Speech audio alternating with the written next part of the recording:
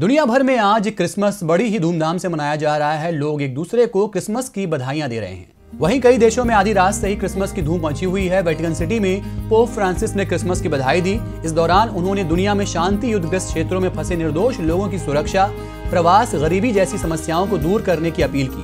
भारत में भी लोग क्रिसमस के जश्न में डूबे हुए हैं। बाजारों में भी क्रिसमस की खूब धूम देखने को मिल रही है।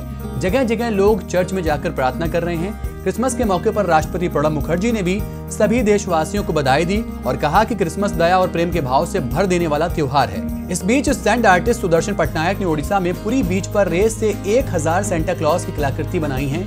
इससे एक दिन पहले पटनायक की 45 फुट ऊँची सेंटा क्लास की कलाकृति को Limca Book of World Records में रेस से निर्मित दुनिया के सबसे बड़े सेंटा के रूप में दर्ज किया गया था। आपको बता दें कि आज का दिन जीसस क्राइस्ट के जन्मदिन के तौर पर सेलिब्रेट किया जाता है। दुनिया भर में क्रिसमस की रौनक देखने को मिल रही है। हालाँकि भारत में नोटबंदी की वजह वजह से थोड़ा सा बाज़ार गर्म रहा है, लेकिन फिर भी लोग अपनी खुशियों को एक दूसरे से बांट रहे हैं और इसमें शरीक हो रहे हैं। देखते रहिए डीबी लाइव